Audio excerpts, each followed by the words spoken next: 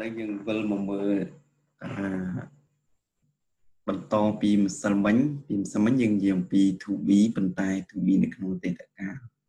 ដូច្នេះនៅក្នុងថ្ងៃនេះយើងបន្តមកមើលអឺពាក្យខួតដែលជាអតីតកាលរបស់ to របស់ can មានន័យថាអាចណាចឹងនៅក្នុងភារកិច្ចខាងក្រោមនេះគឺជាការសន្ទនារវាងគ្រូហើយនិង សិស្សឈ្មោះ B បាទពីមើល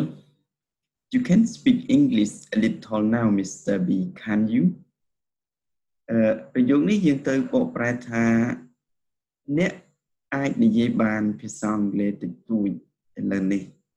លោក B មែនទេ can you នឹងគឺជាគេហៅថា question tag ជាទម្រង់សួរបញ្ជាក់មួយណាទៅមេរៀនខាងមុខយើងនឹងបានឃើញ Yes I can speak a little not quite as my my friend Mr A វិឆ្លើយថាបានត្រូវហើយខ្ញុំអាចនិយាយបានតិចតួចមិនច្រើន not quite quite នឹងថាពិតឬក៏ណាស់ណាមិនច្រើន as much as នឹងបានន័យថាច្រើនដូចមិនច្រើនដូចជាមិត្តរបស់ខ្ញុំ A នោះទេ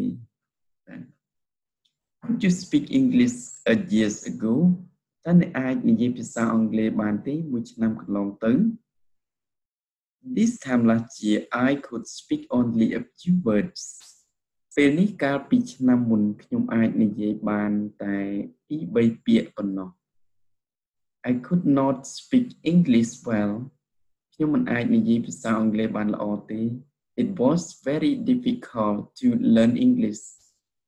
វាមានការលំបាកណាស់ក្នុងការរៀនភាសាអង់គ្លេស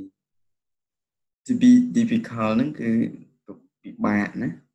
how was that how was that ដូច how is ដែរប៉ុន្តែនេះវាជាអតីតកាលគេសួរពីរឿងអតីតកាលអញ្ចឹងតើរឿងនឹងវាយ៉ាងម៉េចវិញ how was that អូខេយើងបន្តទៅមុខទៀត Mr. B ក៏ឆ្លើយ well I was not as lucky as Mr. A ខ្ញុំមិនមានសំណាងដូច A ទេ as ចុចចុចហើយដាក់គុណនាម lucky ហើយបូកនឹង as នេះក៏យើងនឹងរៀននៅវេយ្យាករណ៍នៅខាងមុខតកតងទៅនឹងការប្រៀបធៀបគុណនាមតែយើងគ្រាន់តែដឹងសិនថាកន្លែងនេះគឺយើងប្រែថាដូច He could get a good teacher I could not គាត់អាចទទួលបានគ្រូដែលល្អម្នាក់ ចំណែកខ្ញុំមិនដូច្នោះទេ I could not There were no English people in my town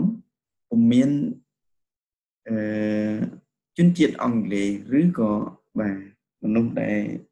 ជាតិអង់គ្លេសហ្នឹងនៅក្នុងទីក្រុងរបស់ខ្ញុំទេ A very small town in Egypt គឺជាទីក្រុងដ៏តូចមួយនៅក្នុងប្រទេសអេស៊ីប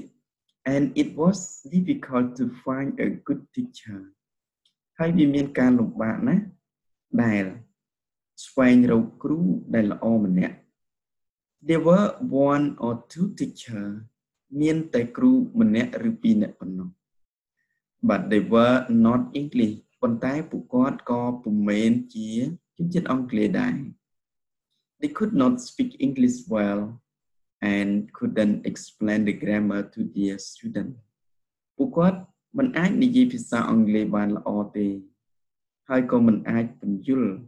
វេយ្យាករណ៍បានក្បោះក្បាយទៅកាន់សិស្សរបស់ពួកគាត់បានដែរ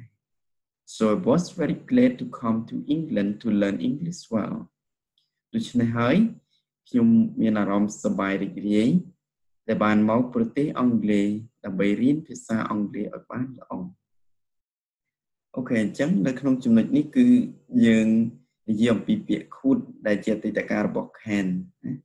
គឺរឿងរ៉ាវនេះគឺគេនិយាយអំពីរឿងរ៉ាវដែលបានកន្លងហួសហើយក្នុងមួយឆ្នាំកន្លងទៅណារបស់ B ដូច្នេះយើងអាចមើលចុះឡើងហើយសារវីដេអូនឹងចុះឡើងទៅអាចមើលតាម